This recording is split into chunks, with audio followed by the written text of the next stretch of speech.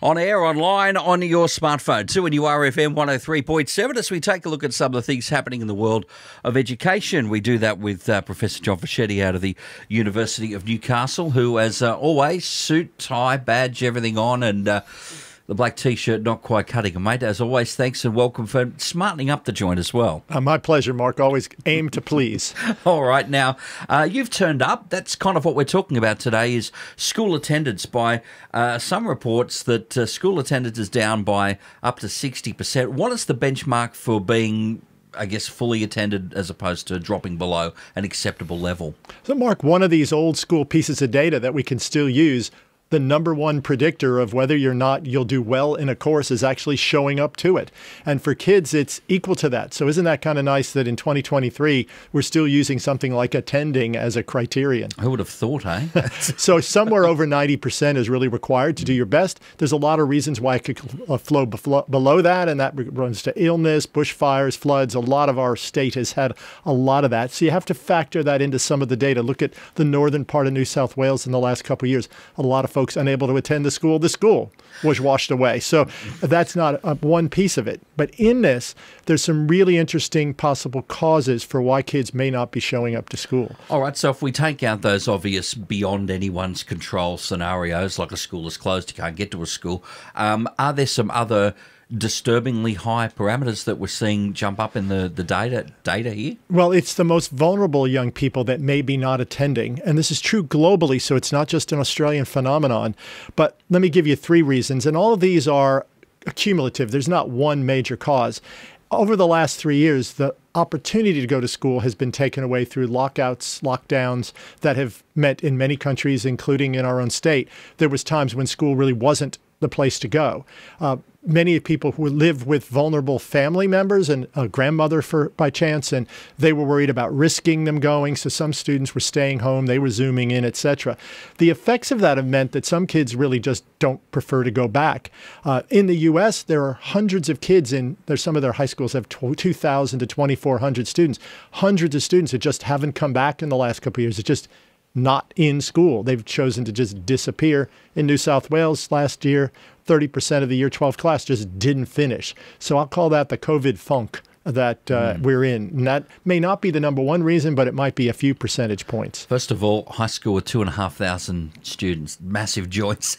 oh, sure. imagine being the deputy in that school. Yeah, good, good oh luck. my gosh! Yeah, you, you only ever get to learn the bad kids' names. Another reason that seems to be extending during the time kids had flexibility at home, they were able to choose their own adventure you could do this notion of self-regulation we've talked about a lot of times. So maybe even did chemistry class with flour and sugar in the kitchen. That's what you had, so that's what mm. you use. Now it's kind of boring. You're sitting there, teachers are talking, there's worksheets, there's bells. It's like, oh boy, this again. So a lot of kids are just now disengaged. They're not sick. It's not a flood. It's just, I don't want to go. And the third reason would be distractions. And those distractions can come from like gaming till two in the morning with friends around the world and kind of not getting up, or parents having to rush off to work and maybe not able to get the kids up, uh, and or working so late. A number of our young people work in jobs that are at the minimum wage. They work in drive throughs or other situations which push them late into the day. They're really not supposed to work that late, but businesses are kind of uh, talent short. And so many places now here and in around the world are having kids be really sleepy from 14 up. So you might think that's a 16 year old issue, but actually we have a lot of kids 14 and up who are working way too late and they're just distracted and, and nodding off or never waking up. Yeah, what was that magic number? 14 and nine months. It, it could have changed, but that, that that's what it was anyway. Um, and let's be honest, John, I mean, the, the idea of, oh, now I can work, I can have some money to go out on the weekend, but if it if it's penalising what's happening at school, that's the, uh, you know, that's becoming an issue. Is there some reliable data overseas where there has been a change in all of a sudden a lot more kids into the workforce that we have seen uh, a, a downtrend here? A couple of states in the U.S. U.S. are pulling back child labor laws. Arkansas is one of them. Uh, the former president's press secretary, Huckabee Sanders, uh, you might remember her name for some Saturday Night Live bits and other things you might have saw. She's the governor in Arkansas, and she's pulling back child labor laws to let students of school age work however long they want and as early as they can get in. Those jobs, unfortunately, though, you know, they're dead ends eh, in the sense that they're menial labor. Once they can be automated, they will. They're just filling in jobs until the machine can do it just as smartly. And it means those kids out of school are not preparing themselves for their own future, and we're taking it away from them because there won't be that lower level job very shortly if it is there today.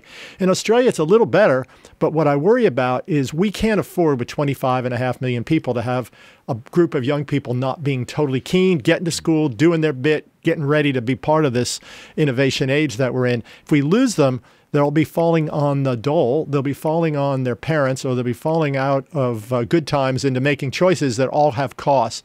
And I think the encouragement comes, and this is where the positive we can finish with, Mark, is that young people who feel there's something worth doing, this is true at university as well, tend to show up.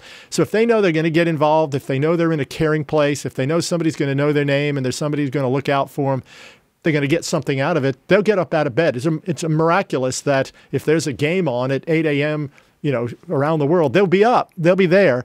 And so we got to make it relevant. We got to make it engaging. That's not new information, but this attendance data gets skewed immediately when kids feel there's something worth getting up for.